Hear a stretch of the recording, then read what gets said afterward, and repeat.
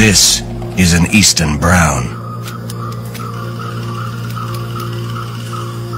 Responsible for more snakebite fatalities in Australia than any other. Like the taipans, their venom has evolved to kill fast-moving prey quickly. They too are very fast, actively chasing down their prey.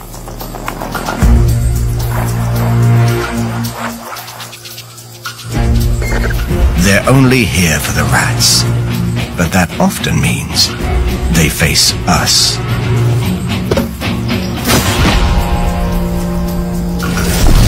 If disturbed, it reveals a calling card. A signature S of maximum strike force.